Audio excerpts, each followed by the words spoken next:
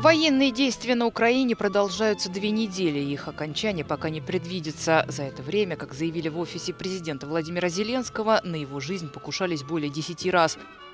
Сам же он вновь обратился к российским войскам.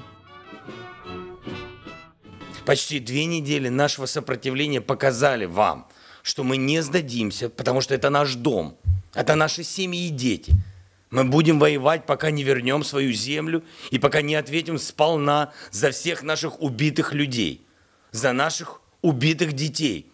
Вы еще можете спастись, если просто уйдете. Не верьте своим командирам, когда они говорят вам, что у вас еще есть шансы в Украине. Вас здесь ничего не ждет, кроме плена, кроме гибели. В свою очередь Москва продолжает обвинять Киев в разработке биологического оружия при поддержке США.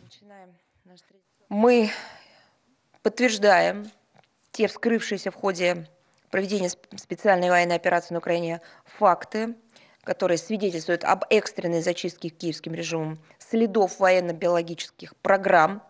Они реализовывались Киевом при финансировании Соединенных Штатов Америки – ни о каком мирном использовании, научных целях во благо мира развития, конечно, речи не идет. Мария Захарова подтвердила завтрашнюю встречу министров иностранных дел России и Украины в Турции. Все это происходит на фоне пока безрезультатных поисков европейских лидеров путей по сокращению энергетической зависимости от России.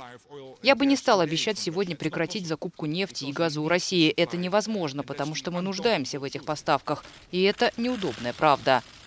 А правда заключается в том, что в отличие от США и Великобритании, около 40% от общего импорта природного газа в странах ЕС приходится на Россию.